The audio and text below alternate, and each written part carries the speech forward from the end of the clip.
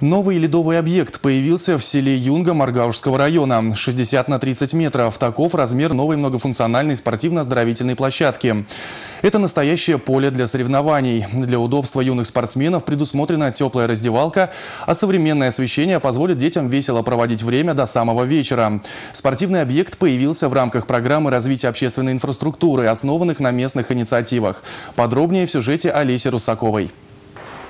Не только село, но далеко не каждый город Чувашии может похвастаться такой хоккейной коробкой. Соорудить ее для зимних видов спорта решили на совещании актива прошлой весной. Специалисты озвучили цену вопроса. Сумма жителей не испугала. Они решили вложиться в хорошее дело. Софинансирование оказали местные, районные и республиканские власти. Из этой суммы миллион шестьсот тридцать восемь тысяч, 60 процентов э, по программе выделяет республика.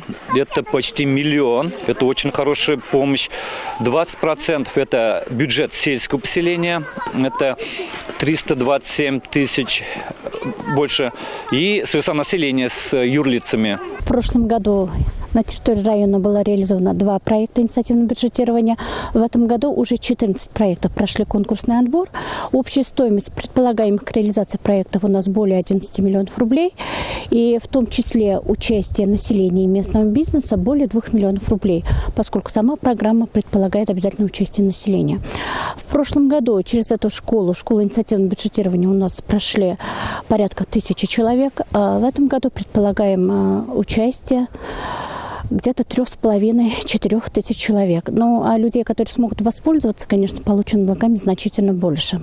Спортивная площадка получилась качественной. Бортам такой коробки не страшны ни щелчки шайбы, ни сильный мороз, ни случайные столкновения. К тому же они не травмоопасны. Режим работы спортивного комплекса круглогодичный. Летом здесь будут проходить турниры по баскетболу, волейболу и мини-футболу. Ну а сейчас пока еще низкая температура. Если в светлое время дня каток облюбовали воспитанники детского сада, то к вечеру он становится местом, где рассекают лед юноши и девушки.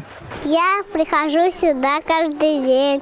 Мы играем догонялки, там прятки. Я хочу кататься, научиться кататься на коньках. Спорт – это здоровье для человека. Наши школьники, дети, занимают всегда первые места. Они и раньше здесь катались, но площадка не, не такая была. Но сейчас это радость для детей. Они еще сильнее будут стараться, надеюсь, э, наш, на наших детей. Спасибо всем. Сегодня в селе Юнга проживает почти 800 человек. Здесь много детей. Молодежь остается на селе, потому что жизнь меняется к лучшему. Благодаря им здесь многое изменилось. По программе инициативного бюджетирования в этом году жители села хотят построить еще и детскую игровую площадку. По этой программе в 2018 году мы также участвуем. А, программа это сейчас предусматривает создание детской игровой площадки. Это в селе Юнга, улица Ларготы. А, средства для участия собраны. Они сейчас на счету сельского поселения находятся. А, на днях размещаем информацию о проведении аукциона.